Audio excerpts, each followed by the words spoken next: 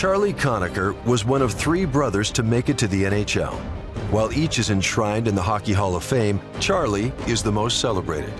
It was the depression, and people were looking for heroes.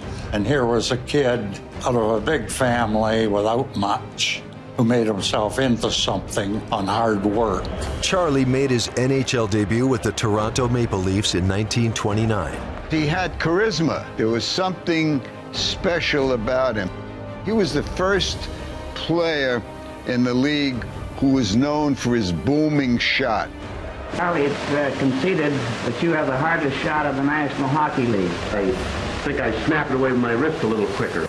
He wasn't called the big bomber for nothing. He could shoot that puck a mile a minute. His shot was his foundation as he starred on the famous Kid line. Joe Primeau at center, Busher Jackson on left wing, and Charlie on right wing. The kid line was one of the most exciting units. It was probably the most famous line in hockey in the early 30s. Conacher helped lead the Maple Leafs to the 1932 Stanley Cup Championship. Charlie was arguably one of the uh, greatest forwards in NHL history. During his nine years with the Maple Leafs, he led the league in goal scoring five times and won consecutive Art Ross trophies in 1934 and 35.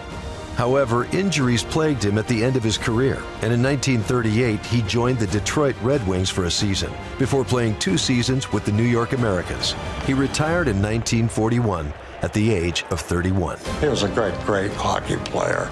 Charlie's style was one that really transcended eras. And when you look at the era of the 60s, you had guys who are now developing booming shots.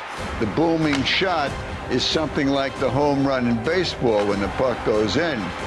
Started with Charlie Conacher, and that influence extended to the new era.